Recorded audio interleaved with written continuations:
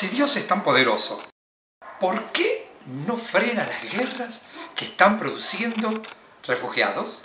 Bueno, Jesús nos pidió desde siempre que lleváramos el Evangelio a todas las naciones, a todas las personas y hasta lo último de la tierra. Al día de hoy, el 30% de los habitantes del mundo todavía jamás escucharon hablar de Jesús.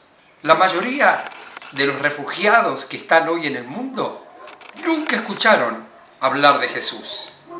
Y en estas circunstancias tan duras para sus vidas, están mucho más sensibilizados para creer en el Evangelio que podemos anunciarles.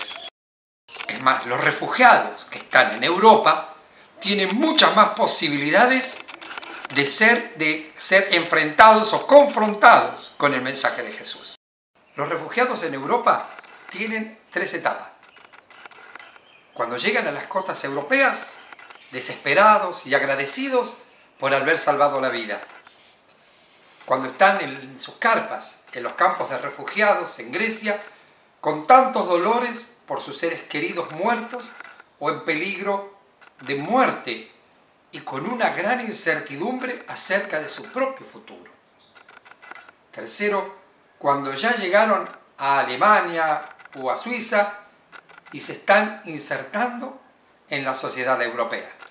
Ya sea los que están en los campos de refugiados o los que se están insertando en Alemania o en Suiza o en Noruega, tienen mucho tiempo libre porque no les es permitido trabajar.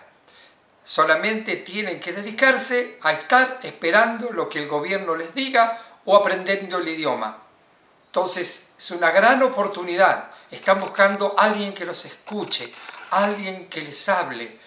Y en este momento muchos de ellos hablan un poco de inglés, pero si ni siquiera pudiéramos con el inglés, tenemos el traductor de Google en nuestros celulares, que no es el 100%, pero yo lo logré hacer con una gran, gran, gran efectividad y poder llegar a mantener una conversación con ellos.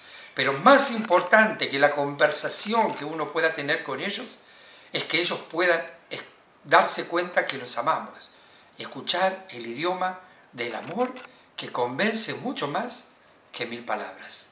Así que animate, si querés venir a Europa para trabajar con los refugiados en las carpas, o para trabajar con los refugiados que ya se están insertando en la sociedad europea o en algunas otras etapas, comunícate conmigo y gustosamente te voy a poner en contacto con las personas que correspondan. Podés escribirme a mi dirección de email paulinihugo.hotmail.co.uk o llamarme o escribirme a mi WhatsApp que es 0054911 4156 0407.